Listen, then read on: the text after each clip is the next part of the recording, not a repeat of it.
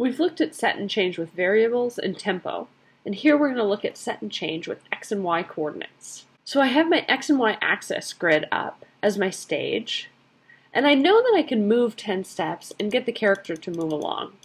And he just moves in whatever direction he's facing. But I want to look at some set blocks. So here I can set x to be 0, so that jumps him back to the center. And I can also set y to be 0. Or I could set x to be 100 and y to be 100. And he should end up right at that point.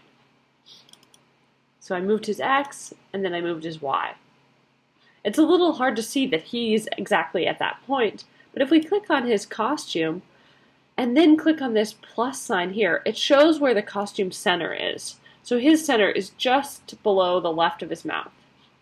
Okay, so we can see just below the left of his mouth, looks like it's about 100, 100. There's another set block that combines setting x and y at the same time, and Scratch will go in a diagonal to that point. Here it doesn't say set, but it says go to x 100, y 100.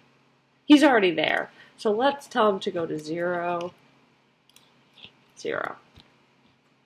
Okay, so he went back to the center.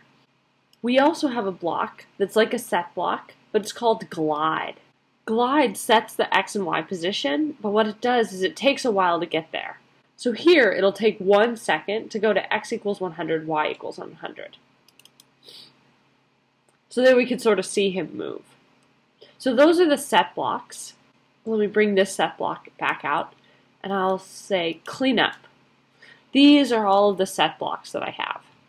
Now for position, let's look at the change blocks. The change blocks I have are change x by 10 and change y by 10. We know from before that if we change x by 10, that'll move scratch to the right. If we change y by 10, that'll move scratch up.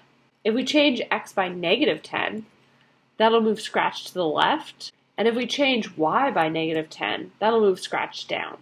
Remember that set always ignores the current value and sets it to a specific value, and change will either add or subtract from the current value. Doing this stuff in Scratch should be helpful for you in later math classes too.